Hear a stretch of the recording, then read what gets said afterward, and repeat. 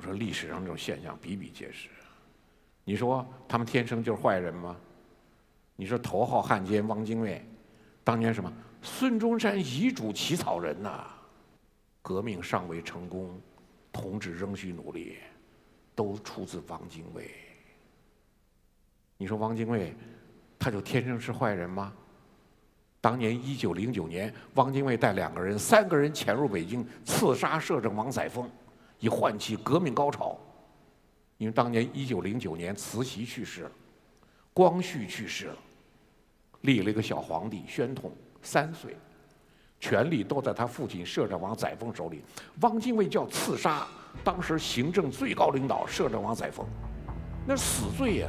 汪精卫抱必死决心到北京来行刺，就在北京的德胜门，德胜门那儿一个小桥，在桥下埋炸药。载沣上下班就上上朝退朝路过，要炸死载沣。一到行动时刻。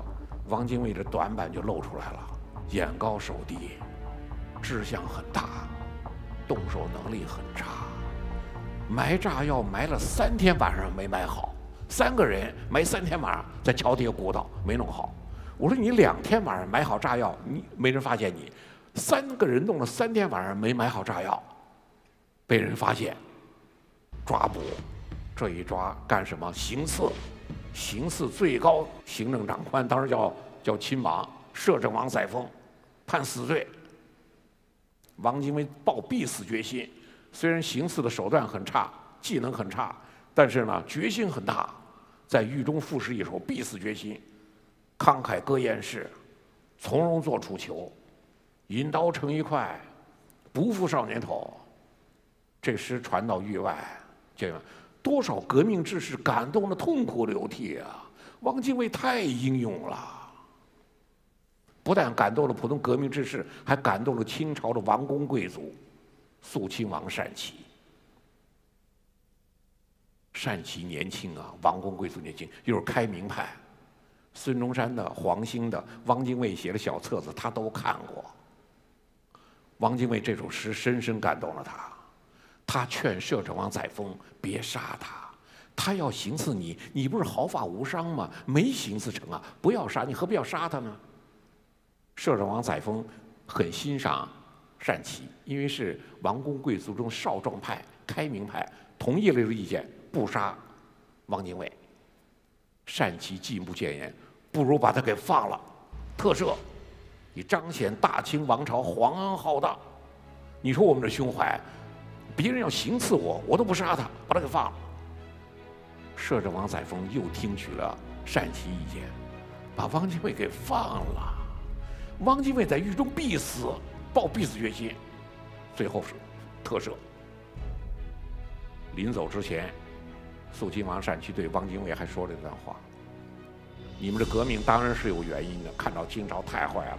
假若你们革命成功，我看你们也强迫我们多少。”那最后不幸严重啊！革命成功了，汪精卫成了党和国家领导人了。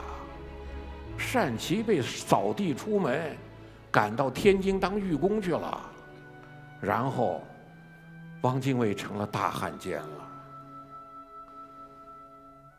我说，谁把？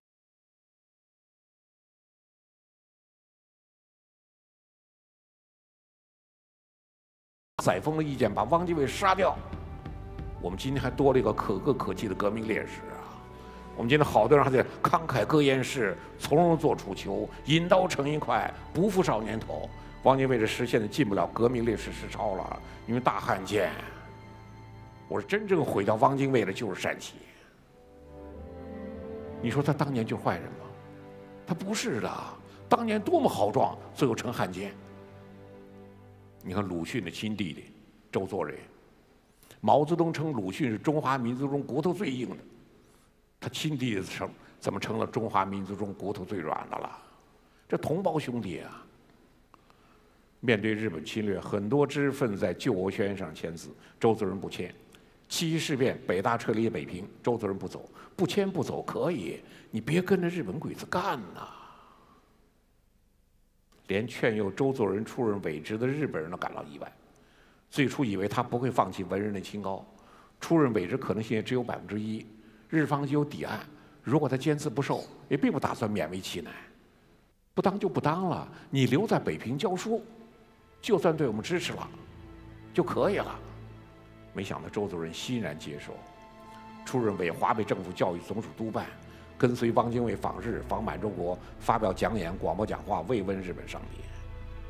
抗战胜利，周作人被民国政府判入死刑，很多北大同仁到监狱探望，说：“做人兄，你怎么干这事儿？”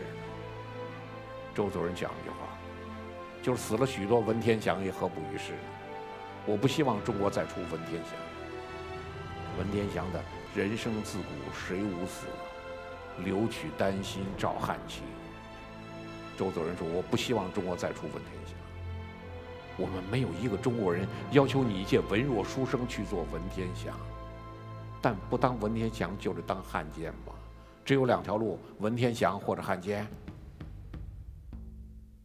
在这个纲常错乱、廉耻扫地的暗无天日年代，清华大学教授俞平伯仰天长叹，就是一句话：我们的英雄不知在何处。一个国家、一个民族到了危难时刻，无人挺身而出，无人横刀立马，都是好汉不吃眼前亏，都是人在屋檐下，哪能不低头？都是识时务者为俊杰，都是心字头上一把刀，你就忍了吧，写个很大的忍字挂在家里。就这一套这种文化对我们侵蚀之深，无人横刀立马，无人挺身而出。中国共产党应运而生。中国共产党应的这个运不是什么好运，是国家最黑暗、民族最无望的时候，一批共产党人挺身而出。抗联第一路军总司令杨靖宇，中共党员，抗到最后剩自己一个人。牺牲的、打散的、投降的，一个人也不投降，干到底。程斌，抗联第一军第一师师长，杨靖宇最信任的得力助手。一九三八年七月率部投敌，组成程兵挺进队，逼杨靖宇绝情。东北深山老林，抗战非常困难，冬天气候太严酷了，零下三十度、四十度，雪深末期，日本人个子矮，雪都到大腿根了，雪里拔不出腿来。日本人对杨靖宇佩服的不得了，说杨靖宇身高马大，人高腿长，在雪地上三蹦两蹦抓不住他跑了。日本人把杨靖宇形容为大鸵鸟。当然，杨靖宇他的能在雪地上出神入化的，日本人抓不住他。不仅他人高腿长，关键是他在不同的山峦布置很多密营、小木屋，里面有粮食有柴火，保证饿不死冻不死。成兵把密营全部捣毁。逼杨靖宇绝境。第二叛徒张秀峰，军部几位排长，父母双亡的孤儿，被杨靖宇抚养成人。一九四零年二月，携带机密文件、枪支及抗联经费叛变投敌，向日军提供了杨靖宇突围路线。他是杨靖宇贴身警卫。他二月份叛变，杨靖宇三月份牺牲。第三个叛徒张锡若。抗联第一军第一师特等机枪射手，叛变后在委通化省警务厅长岸谷龙一郎的命令下开枪射杀了杨靖宇。再讲第四个人，这个人很难说叛徒，赵廷喜，蒙江县保安村的村民。杨靖宇跑了好几天，棉鞋跑丢一只，好几天没有吃饭，看见山上三个砍柴的老乡，杨靖宇跟赵廷喜说：“下山帮我买双棉鞋，再买几个馒头。”还叮嘱了一句：“不要告诉日本人。”赵廷喜下山就告发了杨靖宇在山上。杨靖宇最后壮烈牺牲。日本人说：“你看，终于把这大个子给打死了，把这大鸵鸟给打死了。出卖杨靖宇的、围捕杨靖宇的、打死杨靖宇的，都是中国人，没有灵魂、没有血性的中国人，跟着谁干都是干。”只要混碗饭吃就能活口命就行的中国人，最后出卖杨靖宇的赵廷喜，一九五零年土改执行死刑。赵廷喜临枪毙之前还讲了一句话，说我当时跟杨靖宇讲的话，我看还是投降吧。如今满洲国不杀投降的人。他说我看杨靖宇的样子，跑了好几天，棉鞋跑丢一只，好几天没有吃饭，脸上、耳朵上、手上都是冻疮，说惨兮兮的样子。你干什么呢？抗战？你能打过日本人吗？就剩你一个了，人家都投降了，你干什么呢？投降算了。赵登喜哪里知道，只要杨靖宇投降，日本人安排不是不杀，让杨靖宇出任伪满洲国军政部长，利用杨靖宇的影响摆平东北抗联。最后时刻，杨靖宇跟赵廷喜就讲那话：“老乡，我们中国人都投降了。”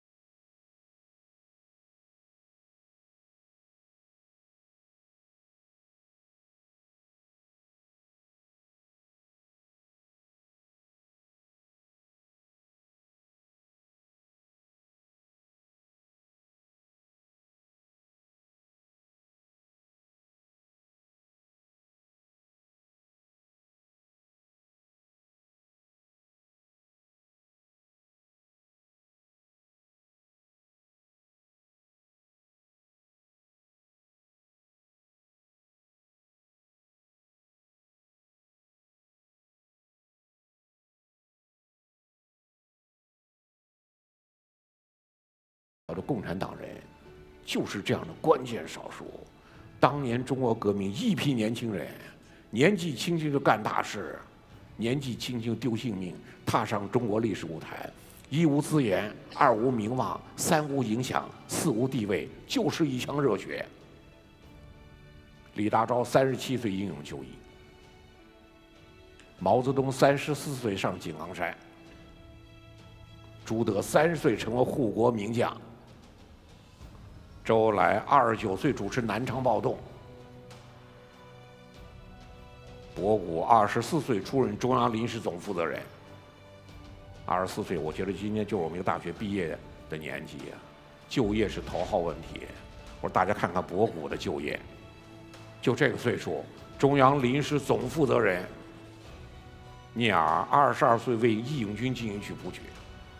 我们今天共和国公民在国歌面前都要肃立。一个二十二岁年轻人谱的曲子，荀怀洲十九岁师长，二十岁军长，二十一岁军团长，二十二岁牺牲。红军中最年轻的将领，邹容十八岁发表革命军，二十岁去世。邹容十八岁写的革命军，深深感动了两个人物，一个是毛泽东，看完邹容的革命军，就四个字：夜不能寐。激动的翻来覆去睡不着觉。第二个蒋志清，及后面的蒋介石，就邹容十八岁写的革命军，感动了中国近代舞台两个主角。你说这些人，他们为了自己首先富起来吗？为了光宗耀祖吗？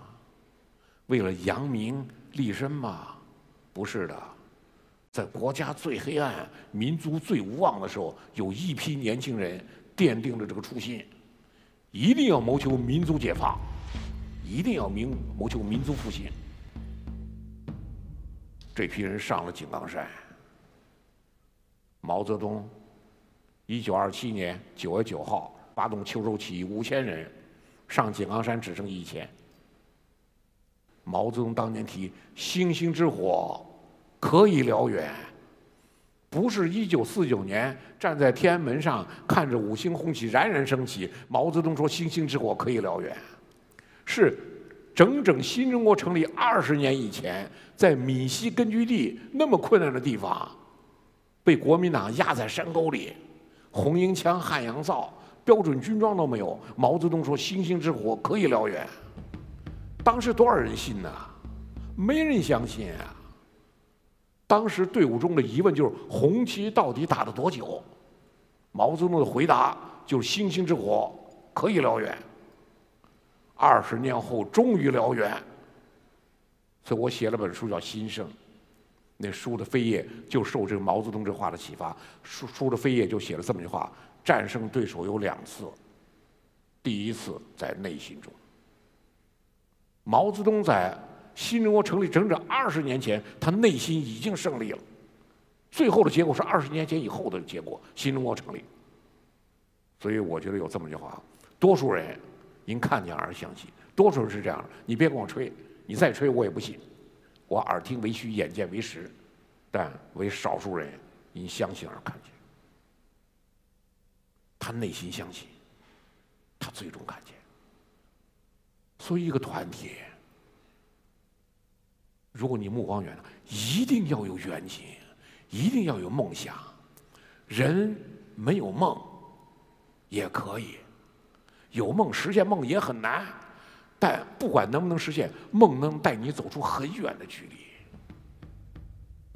回望中国近代历史的百年沧桑，四零年以来集团性的精神沉沦和人格沉沦，相信每个小伙伴心中都和我一样，心情复杂沉重。所幸我们迎来一个太平盛世。一批共产党人挺身而出。那么中国又是如何从低谷中复兴？如何让世界刮目相看的呢？让我们接着听吧。四十年改革开放，中华文明在经济上扭转劣势。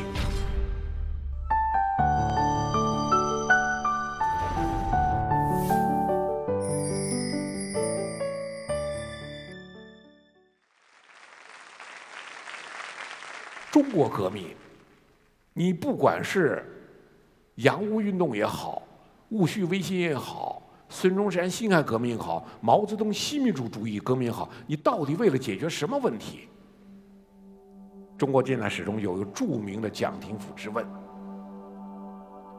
蒋廷甫之问就这话：近百年的中华民族根本只有一个问题，那就是中国人能近代化吗？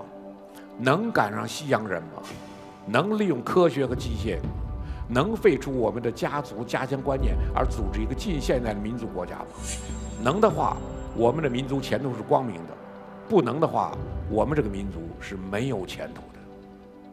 谁能解决这个问题？谁能让中国近代化？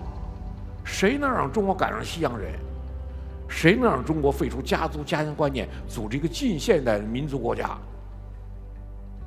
回答这个问题的资格，历史把它留给了中国共产党人。新中国的成立。就对蒋鼎甫之问有力的回答：中华人民共和国成为中华民族历史上第一个持续完整、繁荣、独立、昌盛的近现代民族国家，完成蒋鼎甫之问。只有共产党人做到了这一点。鸦片战争以来，中华文明一直在与西方文明抗争。不仅是大清王朝、北洋军阀、民国政府，是中华文明在与西方文明节节抗争，中华文明节节败退。随着国家几经灭亡，这文明几乎断裂。你看近代来，我们觉得气不如人，志不如人，思想文化不如人。外国的月亮就是圆，人家的素质就是高。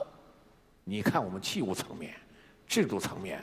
思想文化方面没有一个行的。就中国人近代来，不仅身体，包括精神，这种萎靡不振，完全不行了。新中国的诞生，使中华文明在政治上摆脱了颓势，就是这个文明，中华文明也能独立的建立一个政治架构，有别于其他所有政治体制。跨过鸭绿江，使中华文明在军事上摆脱了败势。我们今天否定跨过鸭绿江的人很多呀，很多人都说不跨过鸭绿江，我们早改革开放了，和美国早搞关系了，跨过鸭绿江维持朝鲜政权值得吗？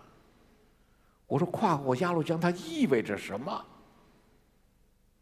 跨过鸭绿江。是中国共产党领导的新中国政府对中华民族一八四零年第一次交代，就是一八四零年以来历届中国政府为了维护国家安全，新中国政府最勇敢、最顽强、最富有斗争精神、牺牲精神，抗美援朝、保家卫国、境外作战，再也不是九一八事变发生在沈阳城，七一事变发生在北平城南部的卢沟桥，是出境作战，绝对不能让威胁延烧到我们国内来。出境作战，你说我们当年想打吗？五零年六月二十五号，朝鲜战争爆发。九月十五号，美军仁川登陆，准备大举北进。我们不想跟美国打，我们划条线三八线，警告美国人不要过线。美国人信都不信的，麦克阿瑟坚决不信。中国人嘘声恫吓，当时空中侦察已发现东北边防军三十万边防军的集结。美国总统杜鲁门非常担心中国出兵怎么办，专门飞到威克岛与麦克阿瑟会谈。麦克阿瑟信心满满，告诉总统：“放心。”中国人不会出兵，嘘声恫吓。你看看他们的糟糕透顶的近代史，他们没打胜过一场仗。他们今天吓唬我们，他们不会过来的。你看中国的传统的战略思维：第一，长城，长城修道墙，他们不出去，也不让别人进来；第二，中国人最崇尚的谋略大师诸葛亮。诸葛亮最得意之作《空城计》，城内没有一兵一卒，把别人吓跑了。中国人就会搞这一套，所以杜鲁门总统是信心满满回去的，认为中国人肯定不会出兵。所以，当我们在发出警告，美国人置之不理。九月二十五号，总参谋长聂荣臻发出警告：美军过线，中国绝不可以置之不理。美国人理都不理。十月三号凌晨。周恩来紧急约见印度驻华大使潘尼加，要潘尼加把消息传过去。就这话，韩军过线我们不管，美军过线我们要管。为什么十月三号凌晨把潘家人家驻华大使从床上拖起来到外交部紧急约见？因为我们跟美国没有外交关系，得通过印度驻华大使把消息传回去。第二。因为十月二号晚上政治局会议做了出兵的决定，十月三号凌晨是最后避免与美国碰撞的机会。我们新中国刚刚成立，百废待兴，军队长期作战急需休整，我们真的不想打，一定让美国人不过线，我们就回避这样的冲突了。潘尼加知道事关重大，消息准确的传过去了。十月三号下午，美国国务院的非正式回复：周讲话缺乏法律和道义根据。你们根据在哪里啊？你凭什么管呢？你哪有根据啊？十月四号，美国国务院的正式回复：不要低估美国的决心。所以十月七号，不是麦克阿瑟下令，是美国总统杜鲁门下令，美军越过三八线直扑平壤。所以十月八号，毛泽东下令，着中国人民志愿军迅即向朝鲜境内出动。中美两军朝鲜半岛迎头相撞。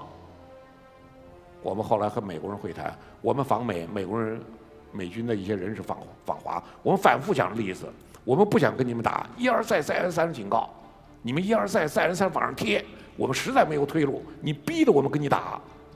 哎，美国人后来不承认了，说你们信息传递不清啊，你们说要管，这管怎么翻译啊？是 control 还是什么玩意儿啊？不知道你们什么意思？你们应该准确的说，我们过线，你们就出兵，这我们就明白了，我们就考虑过不过线了。美国人揣着明白装糊涂，聂荣臻已经讲了，美军过线，中国绝不会置之不理。不是翻译的问题，是他内心中，中国人从来没管过什么事儿，从来没管成什么事儿，这就是朝鲜战争。我们第一次让美国人意识到了新中国。新中国旧中国，一九四九年分界线，一九四九到一九五零，我们国力增强了多少？没增强多少，但是领导班子换了，政府换了，执政者换了，国家意志变了，再也不是忍到九一八事变，忍到七七事变，是出境作战，抗美援朝，保家卫国。我一九九七年在美国国防大学学习，学习期间参观西点军校，美军当时让他的呼珀中校五角大楼安排，呼珀中校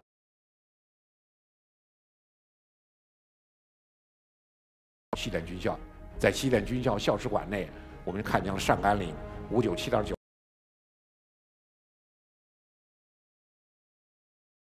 呼珀中校跟我讲了一句话，这个战例我上学的时候学过。他说我知道你们两个高地两个连守卫，我们七个营轮番进攻攻不下来。他说我不知道为什么。我们问了教官，给我们解释了半天，最后教官走了，我们还没有弄明白为什么七个营夺占不了两个连的阵地。我说中国人凭什么立足于世界？就是人家问的为什么七个营夺占不了你们两个连的阵地？你看看旧中国第一次鸦片战争一万五千军队把我们打成这样第二次鸦片战争两万五千把圆明园都烧了然后八国联军入侵北京就一万多人把北京荡平。现在他们反问了为什么七个营夺占不了两个连的阵地？我这儿再给大家看一下二零零五年美国国防部长拉布斯菲尔德访华。拉布斯菲尔德本人非常像今天特朗普岁数一样七十多岁性格一样唯我独尊天下第一。拉布斯菲尔德上台恰逢中美撞击事件在南海撞击事件他宣誓绝不到中国访问。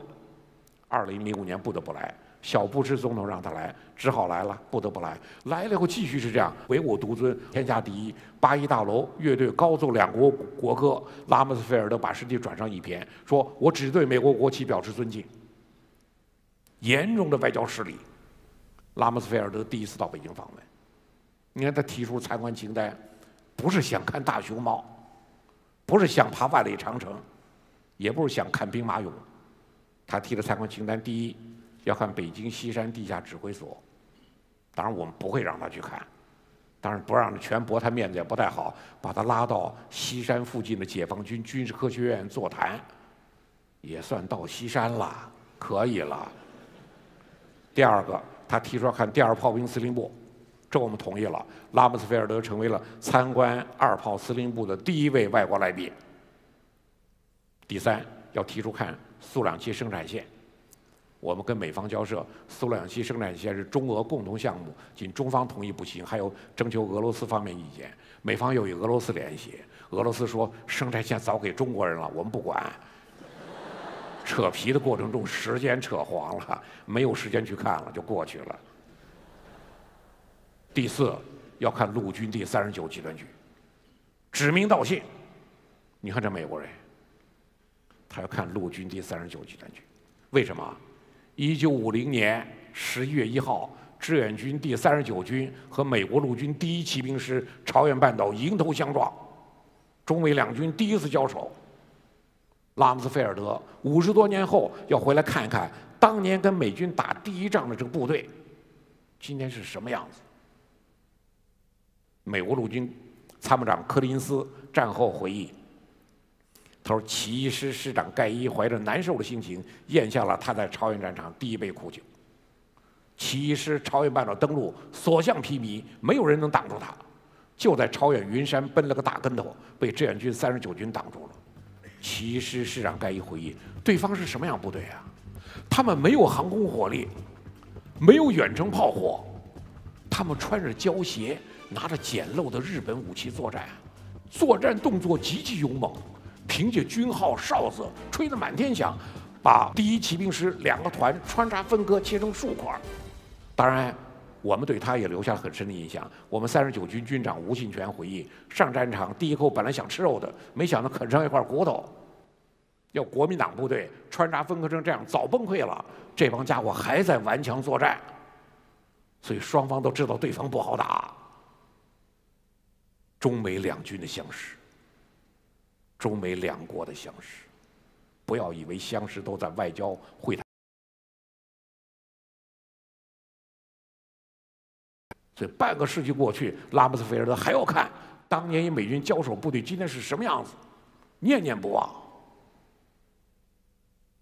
美国人建构主义的鼻祖亚历山大·温特，他讲那话：一个国家在生存。独立和经济财富三种利益之上，还必须加上第四种国家利益，那就是集体自尊。集体自尊同样是一种国家利益，形成国家的价值观凝聚力。中国共产党使中华民族获得了前所未有的